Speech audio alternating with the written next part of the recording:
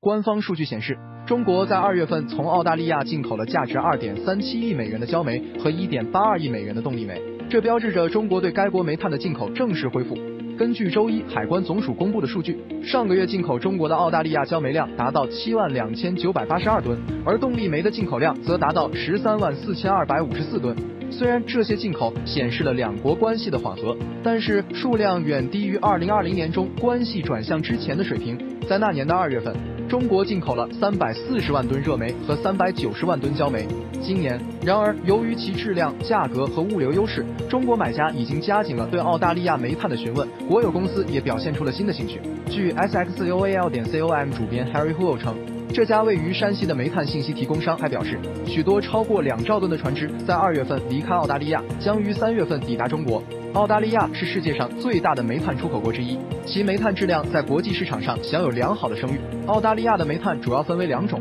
焦煤和热煤。焦煤是一种高质量的煤炭，主要用于生产钢铁。它的高能量和低杂质含量使得它成为一种非常有价值的煤炭。澳大利亚的焦煤主要来自昆士兰州和新南威尔士州，这些地区的煤炭质量很高。热煤是一种低品质的煤炭，主要用于发电。澳大利亚的热煤主要来自昆士兰州和新南威尔士州的煤炭矿。澳大利亚的热煤通常比其他国家的热煤质量更高，具有低灰分、低硫分、高热值等特点。总体来说，澳大利亚的煤炭质量很高，得益于其优越的地理位置和严格的采矿标准，这使得澳大利亚的煤炭在国际市场上有很高的竞争力，成为许多国家和地区的首选进口来源。